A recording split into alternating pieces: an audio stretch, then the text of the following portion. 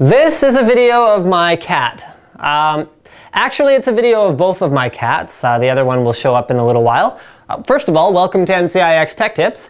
The point of this is not the cat in the video. The point of the episode today is actually what's right in front of me here, and it is AMD Fusion. In front of me, I have the E350 APU. So the APU is what that acquisition of ATI was all about. The APU combines a GPU, which is a graphics processing unit, as well as a CPU, which is a central processing unit, into one chip.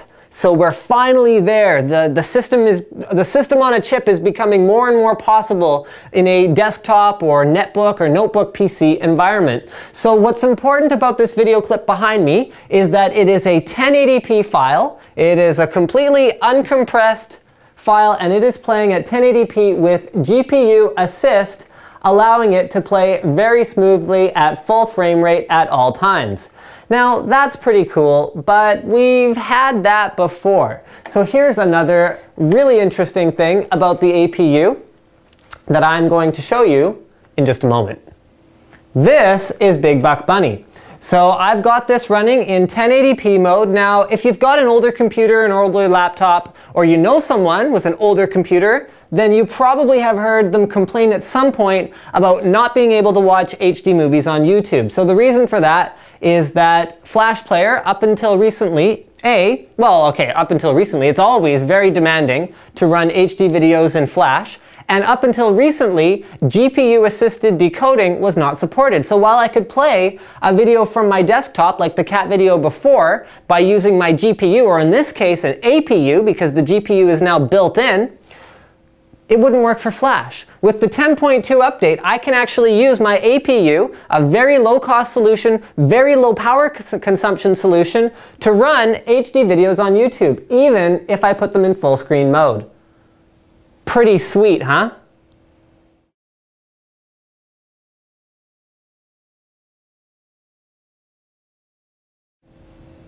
So let's talk about our system config here today. This is a Gigabyte uh, GAE350N USB 3. So it's a mini ITX motherboard, although AMD Fusion solutions are available in a variety of form factors, including, as I mentioned briefly before, notebooks, netbooks, uh, here's one from ASUS. This is the E35M1-M. So this is a micro ATX board which actually gives you, you can see it has a, a passive heatsink to cool the APU, two DIMM slots, it's got and this is cool.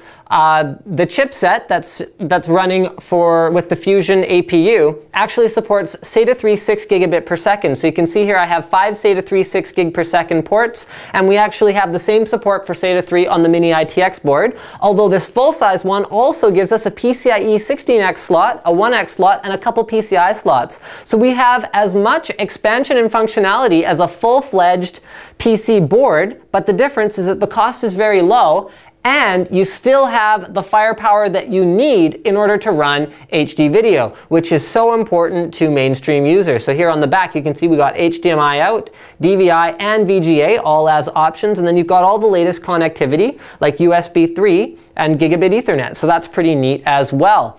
So our Gigabyte board, let's get back to that one. The way I have it configured right now is with only 2 gigs of RAM. I have it running off a very, very low-end power supply because under load, this whole thing pulls only a handful of watts from the wall. It's very, very power efficient. And I'm also running an SSD because with a Fusion APU, you actually are well on your way with some of them passive, like the Asus board that I showed you guys before with the big passive heatsink on it. Some of them run off little tiny fans and heatsinks, but either way, with a low wattage power supply, an efficient power supply like 80 plus, an SSD, and a Fusion board, you've got a very silent HTPC, HTPC without spending a lot of money. It's great. Now let's talk about the competitive landscape. So Fusion is not the lowest price uh, basic PC platform on the market, and it's not the highest price one either. I actually don't have any pure Intel Atom with Intel integrated graphics solutions in front of me, and the reason for that is I don't really believe they're competitive. The Intel Atom without a third-party graphics chip is actually not capable of playing HD video on YouTube or any of those things that are going to be essential for anyone that you're going to be providing even a computer with basic functionality to. So the ones that I do have here today, I've got the two Fusion boards, and then I have a couple of interesting solutions. So this is the AT3 Ion T-I from ASUS. This is an ITX board and it also has a similar feature set to an AMD Fusion board. The difference is that it does not support SATA 3 6 gigabit per second because the chipset does not have that functionality. It does have higher power consumption, although only, I mean, we're talking on the order of a few watts, but I guess that would work out to up to 10% higher power consumption, depending on how you want to look at it. They're very close and it does not use an APU. So it actually has two dedicated chips. It has an Intel Atom CPU, which is a dual core with hyperthreading, and then it also has an NVIDIA Ion first generation GPU.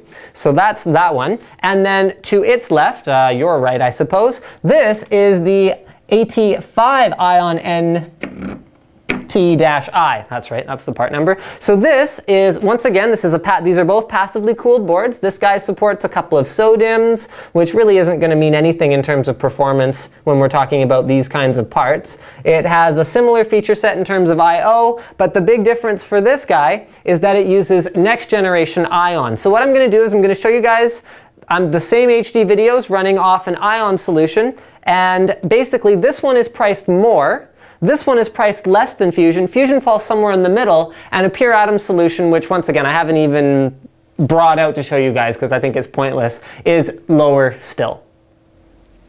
So now we've got our Ion next generation. So uh, you could call it Ion 2, but it's technically not correct. So we've got our next generation Ion solution, also playing back 1080p video here and then I'm gonna go ahead and uh, close that down. So something that you may have to do when you install your codecs is enable GPU hardware assist. That is something that I did have to do to get my videos to play back smoothly.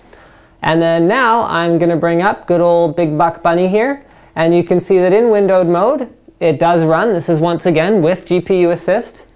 And I'm gonna go ahead and fire that up in full screen. Now you can see we get some stuttering on NVIDIA Ion, but once I make the ads go away, and once the toolbar goes, or once the uh, progress bar goes away at the bottom, see, you can see the frame rate actually jumps right up. So that's one of the issues that I did run into on the Ion platform that I did not encounter on the AMD platform. It's likely just a driver thing one way or the other.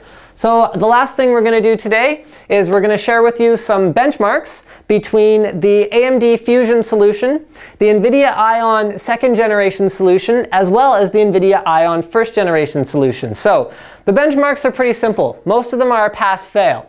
So for YouTube, 1080p, does it work? Fusion, yes. Menus and ads do not affect it. Ion 2, I'm just going to call it that, okay, yes, but the menus and ads do affect performance. Ion 1 actually worked just fine without menus and ads affecting performance.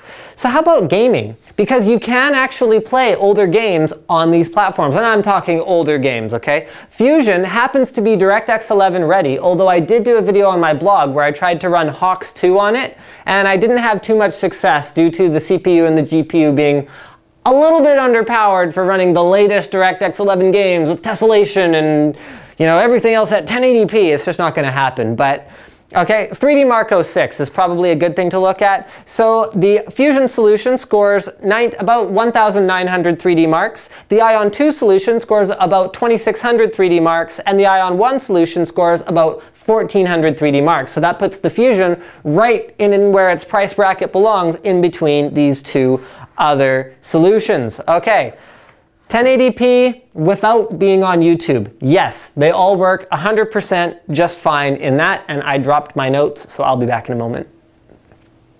Yeah, I'm back. Got my notes. Okay, so I used Handbrake to re-encode a video file of my, oops, I got Big Buck Bunny, well, of my cat video, and then I recorded the average frame rate in the output file at the end. So the Fusion solution, bearing in mind that is a dual core processor with no hyperthreading, ran at 1.62 FPS, whereas the Ion 1 solution, which uses an older Intel Atom chip, it uses a 330 versus the D525, ran at 1.82 FPS, and the Ion 2 ran at 2.57 FPS. So thank you for checking out this video featuring AMD Fusion, the APU, which could very well be the future of many devices that you use, whether they're in this form factor, even smaller, thinner, lighter netbooks, and uh, even, I mean, the sky's the limit for something like this because we're down, we're consolidated right down to a single chip for the CPU and the GPU. The biggest advantage that I haven't talked about probably as much as I should have